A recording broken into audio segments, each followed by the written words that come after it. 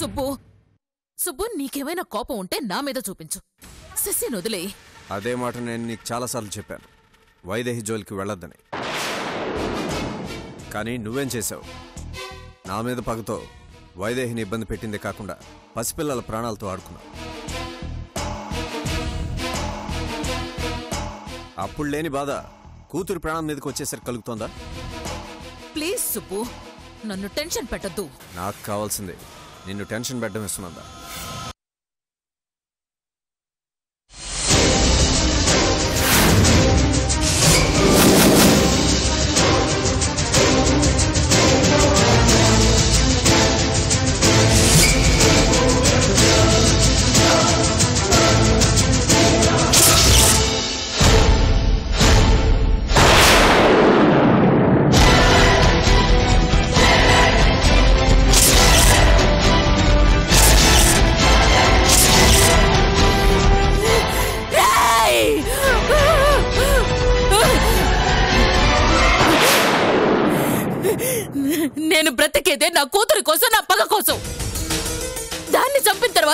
అందరూ ప్రశాంతంగా ఉంటారని ఎలా అనుకున్నారా ఆ?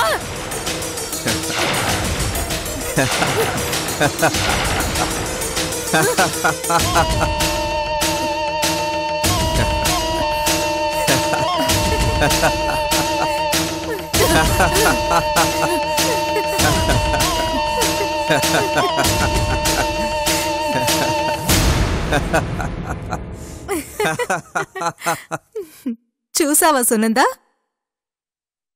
నీ కూతురు చచ్చింది అని చెప్పిన వెంటనే నీ కళ్ళల్లో నీళ్ళు ఎలా ఏర్లై పారాయో? అంటే బాధ కలిగితే ప్రతి ఒక్కరూ ఏడుస్తారు. నీ వల్ల మా అందరికీ ఎన్నోసార్లు ఆ పరిస్థితి ఎదురయ్యేది.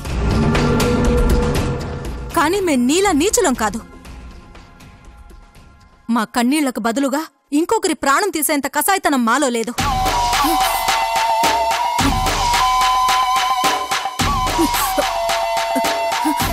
అంటే అంటే నా కూతురు ప్రాణాలతోనే ఉందా?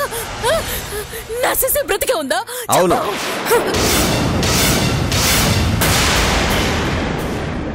తను క్షేమంగానే ఉంది ఎక్కడుంది? చెప్తాను తప్పకుండా చెప్తాను కానీ దానికన్నా ముందు నువ్వు పని చేయాలి.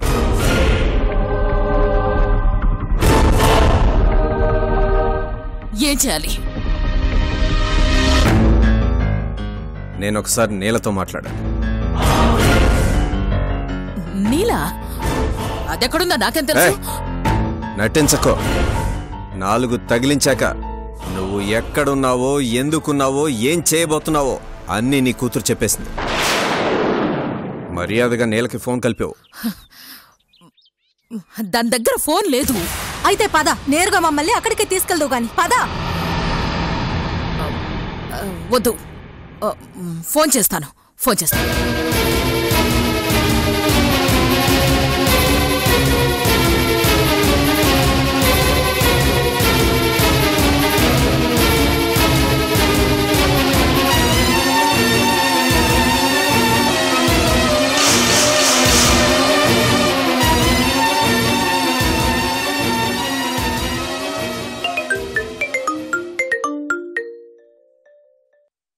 ఆ సునంద గారు.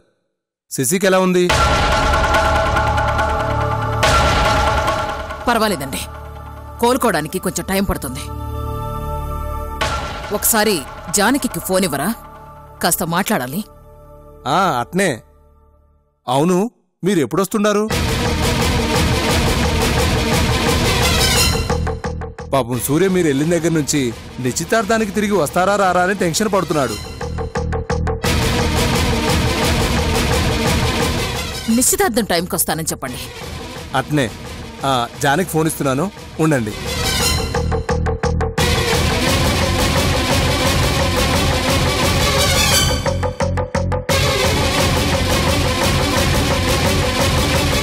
అమ్మా జానకి సునంద గారు నీతో ఏదో మాట్లాడతారంట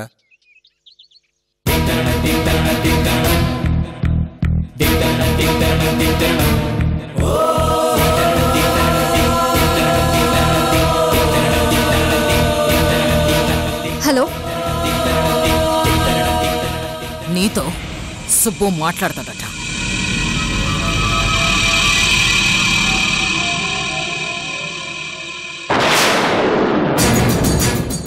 హలో నీలా? ఎవరు? నేనమ్మా సుబ్బుని. ఆనంద్ స్నేహితుణ్ణి.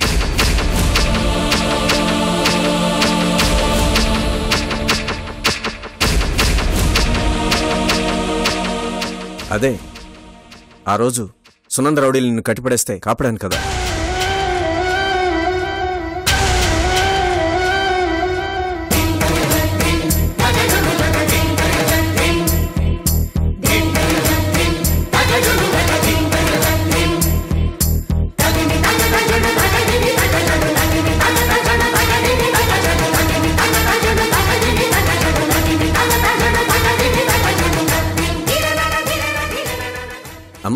అదేనమ్మా. గుళ్ళో నువ్వు పడబోతుంటే పట్టుకున్నానే.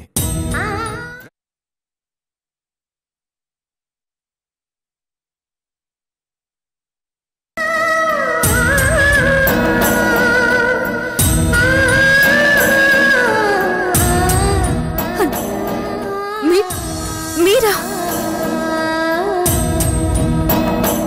మీరు సునంద దగ్గర ఎందుకున్నారు? నేను సునంద దగ్గర ఉండడం కాదమ్మా. సునందే ఇప్పుడు నా చెర్లో ఉంది.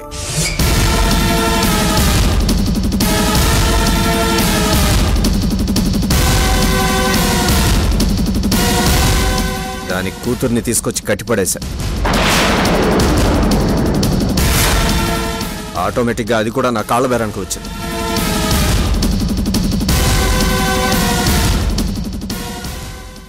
ఎలా ఉన్నావమ్మా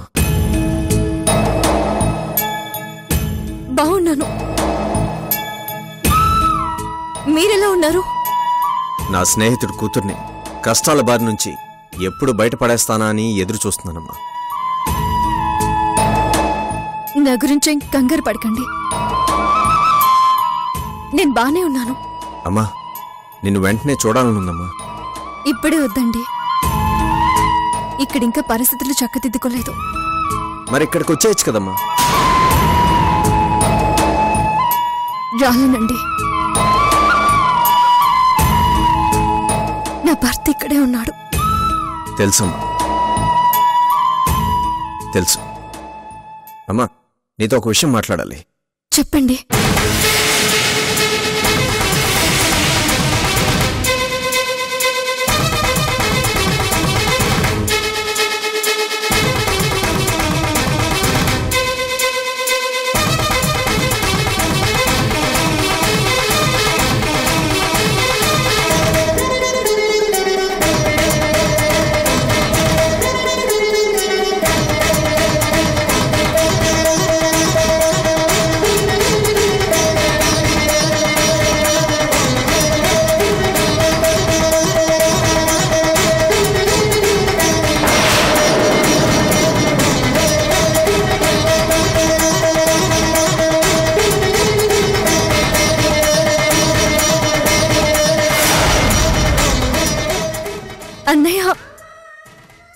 మీతోనే ఉన్నాడా? అవునమ్మా. కానీ సునంద వైపే ఉన్నట్టు నటిస్తున్నాడు. కొన్ని రోజులు బసవ సునందని కనిపెడుతూ ఉండడమే మంచిది.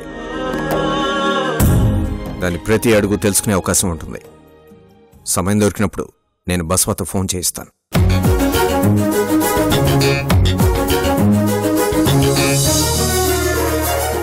మరి ఇప్పుడు శశి పరిస్థితి ఏంటి? శశి మారిపోయింది నెల. అజయ్ని ప్రేమిస్తాం. పైగా ఇప్పుడు ప్రెగ్నెంట్ కూడా.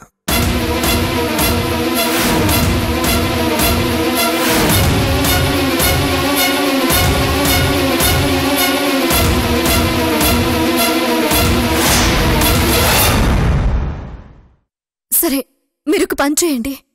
చెప్పమ్మా.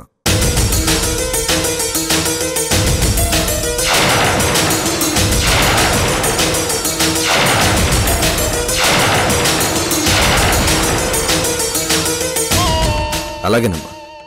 నువ్వు చెప్పిందే కరెక్ట్. అమ్మా నీలా నువ్వు మాత్రం జాగ్రత్తగా ఉండు. నేను తర్వాత ఫోన్ చేస్తాను. అలాగేనండి. అన్నయ్యని అడిగానని చెప్పండి. చెప్తాను.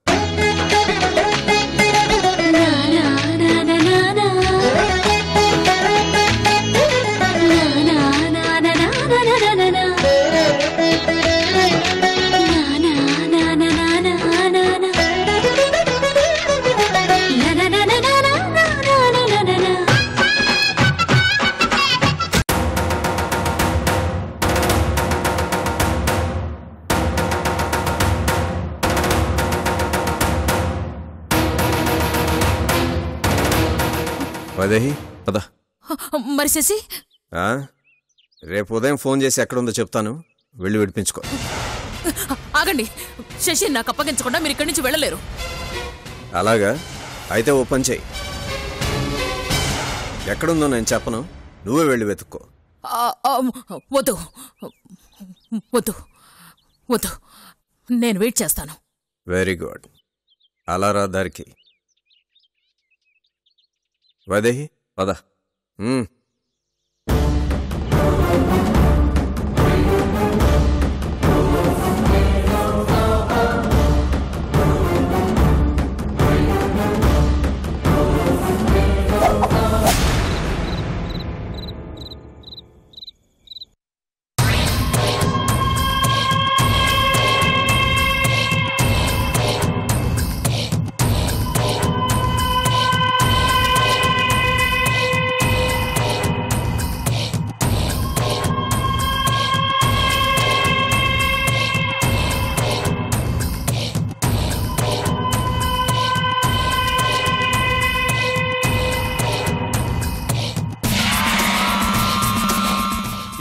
రోజులు నీతో కలిసి నేను టెన్షన్ పడేవాణ్ణి. కానీ ఇప్పుడు నువ్వు టెన్షన్ పడుతుంటే చూస్తూ లోపల ఎంజాయ్ చేస్తున్నాను. ఈ ఫీలింగ్ మామూలుగా లేదు. గతి లేక నీతో కలిసి నీచమైన పనులకు పాలు పంచుకున్నాను గాని సుబ్బు లాంటి వాళ్ళ సపోర్ట్ ఉంటే నేను ఇలాంటి మంచి పనులు ఎన్నో చేసి ఉండేవాడిని పాత సినిమాల్లో విలన్ల పక్కన ఉండే అసిస్టెంట్లు క్లైమాక్స్లో ఎందుకు మారిపోతారో అనుకునేవాడిని కానీ ఇప్పుడు అర్థమైంది.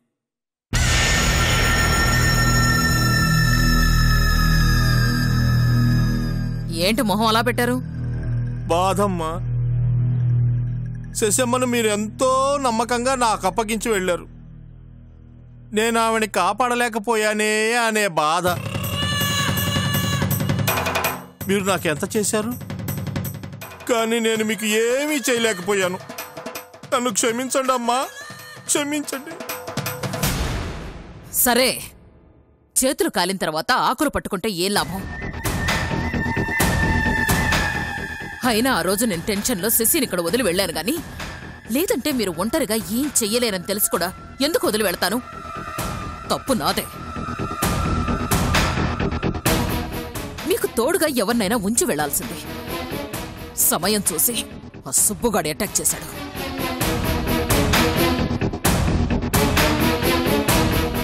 సరేలేండి అయిందేదో అయింది. రేపు శశి మన దగ్గరికి రానివ్వండి. ఇప్పుడు చెప్తాను వాళ్ళ సంగతి. అమ్మా నిజంగానే ఆ సుబ్బు శశిని మనకు అప్పగిస్తాడంటారా? తప్పకుండా అప్పగిస్తాడు. ఎందుకంటే నీల జీవితం నా గుప్పెట్లో ఉందని వాడికి తెలుసు. తేడా జరిగితే నేను పెద్దిరెడ్డికి విషయం చెప్పేస్తాను అని కూడా వాడికి తెలుసు. వాడు నాకు టోకరా ఇవ్వడం. కానీ మీరు పెద్దిరెడ్డికి నిజం చెప్తే మీరు కూడా సూర్యని మీ ఇంటల్లుండి చేసుకోవాలని ప్రయత్నం చేస్తున్నారని పెద్దిరెడ్డికి ఆ నేల చెప్పేస్తుంది కదా. ఆ ఆలోచన మీకుంది గాని ఆ సుబ్బుగాడికి ఎందుకు వస్తుంది హ, వాడికి నీలని కాపాడడం మాత్రమే ఇంపార్టెంట్. మిగతా విషయాలతో వాడికి ఏం పనిలేదు. ఓహో అలా అంటారమ్మా?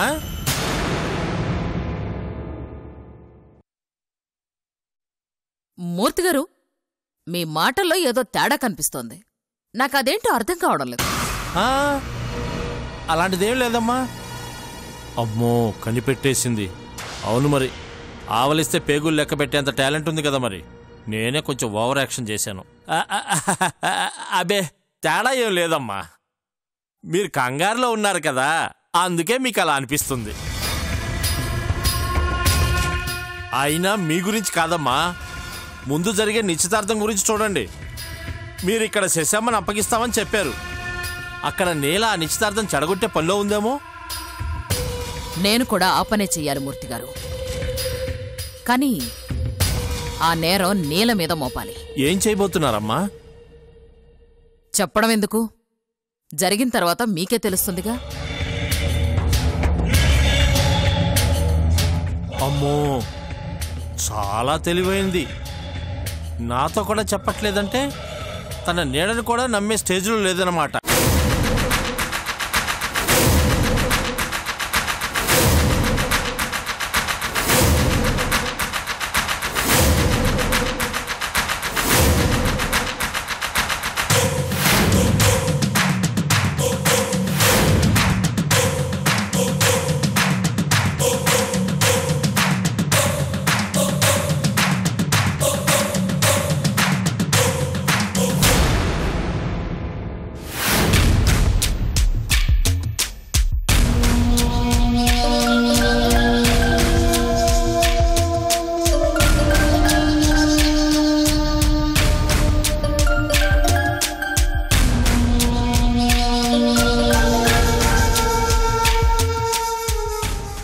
హలో? కొండారెడ్డి గారు నేను సునందని. మీరా?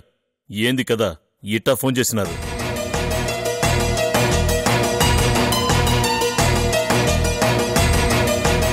రేపు పెద్దిరెడ్డి కూతురికి నిశ్చితార్థం. ఆ రోజు మీకు చెప్పాను కదా సమయం వచ్చినప్పుడు మీ సాయం కోరతాను అని. ఇప్పుడు ఆ సమయం వచ్చింది. అర్థమైనది. ఏం చెయ్యాలా?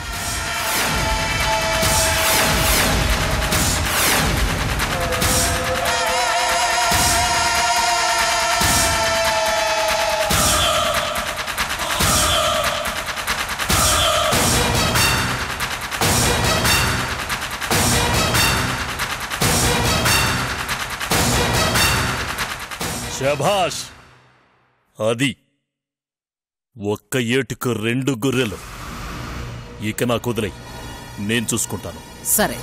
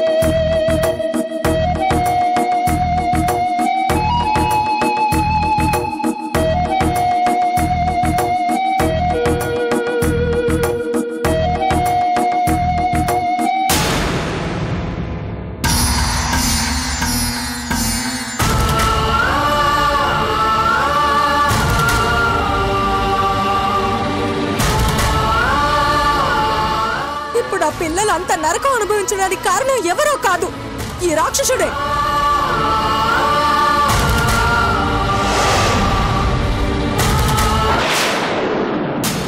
వైదేహి! ఏంటి వైదేహి? ఏం చేస్తున్నావు? నేను చేసిన తప్పుకి నాకు నేనే శిక్ష విధించుకుంటున్నాను. అంత పెద్ద తప్పు నువ్వేం చేసావు వైదేహి? మనసు మంచిది కాబట్టి నువ్వు తేలిగ్గా మర్చిపోగలిగావు సుబ్బు. కానీ నేను నీ గొప్ప మనసుని అర్థం చేసుకోకుండా ఎన్నోసార్లు బాధ పెట్టాను.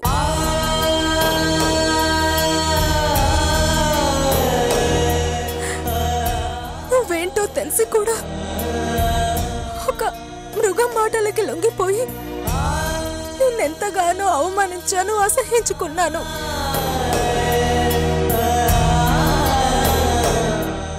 నీ ప్రేమంతా నటననుకున్నాను.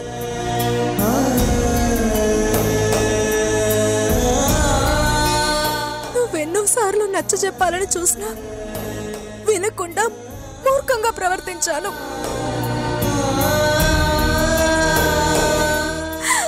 గుండెలకు హత్తుకోవాల్సిన ఈ చేతులతో కాళ్ళు పట్టుకున్నాను నీ క్యారెక్టర్ని తప్పు పట్టాను. క్షమించరాని నేరం చేశాను సుబ్బు. నేరం చేశాను. ఇచ్చితానా నువ్వు నన్ను బాధ పెట్టాననుకుంటున్నావు. కానీ నాకు నిజంగా బాధ కలుగుతోంది ఇప్పుడే. నువ్వు నన్ను ఎన్నిసార్లు తిట్టినా నా కళ్ళకి నీ కోపం కనిపించలేదు వైదేహి కానీ ఇప్పుడు నువ్వు పెట్టుకున్న కన్నీళ్ళు నా మనసును తాకుతున్నాయి.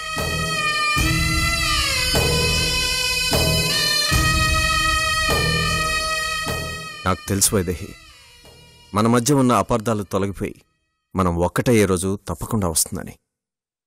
అందుకే నువ్వు నన్ను ఎంత అసహించుకున్నా భరించాను. ఒక్క విషయం గుర్తుపెట్టుకోవైదే ఎవరైనా మనుషుల్ని విడదీయగలరేమో కానీ మనసులను విడదీసే శక్తి మాత్రం ఈ లోకంలోనే లేదు.